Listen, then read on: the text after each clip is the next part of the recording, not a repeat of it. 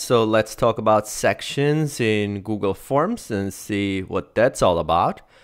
So in previous couple of videos, we built this form and this form is all on a single page. So when we preview for the user, this is the form and all the questions are on a single page and our user is going to complete this form and hit submit. When you have a lot of questions in your form, this is going to be unnecessarily long on a single page.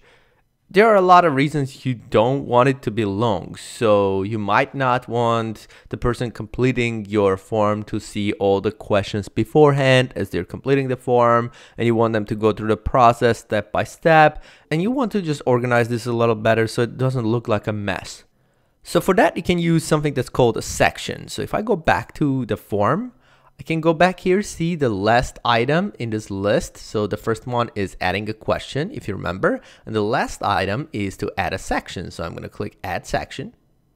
So now I have my form separated into two sections. I have this top section here and this second section below.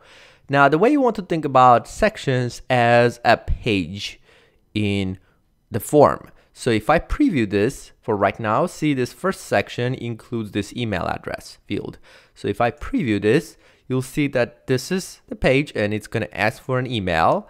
And then you'll have to hit next to actually go to the next section, which is going to be the next page with all the questions on the next section. So I'm going to close this for a second we'll probably want to move some of these questions from here, from this section to this section, which we can do by simply dragging and dropping. So I'm going to grab this question for the name, move it to this section on top. I'm going to move the age here as well. And possibly zip code. And I probably don't even want this age question here, so let's delete it. So that's gone. So we're going to ask for email, name, and zip code. And then we're going to have our second section. And we're going to give this a name. And we can also add a little description, which is optional. And below we'll have questions here. So we have the first question, we have the second question, and we have this comment. So I'll probably also move this comment to its own section as well. I'm going to add yet another section. For whatever reason, it went to the top. Now I wanted this section to be the third one, probably. To move this, you could just click here and do move section.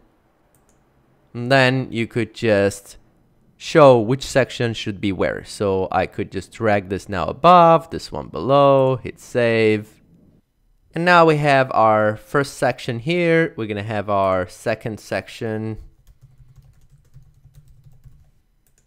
here, I guess. And then we'll move our comments question to the third section. And now I have three sections. You can think about it like three pages. So if I go here and preview, so now we have the first page. So it's to be our email, name, and zip code. Oh, we have validation here, more than two characters. Then our zip code. And that takes us to the next part of our form. So we're going to choose our applications, hit next, and do we want to add some comments? Sure. Hit submit, and there it is. So we completed our form. So now we have this multi-step process in our form instead of just having the whole thing on a single page. Now, a couple of quick things before we finish with this video.